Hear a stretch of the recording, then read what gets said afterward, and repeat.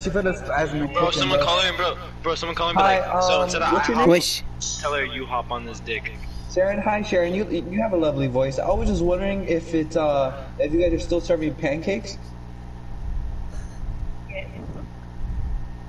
What? Sorry? You said what? I'm with the side of you. Bitch, I'm gonna need you to speak up, bro.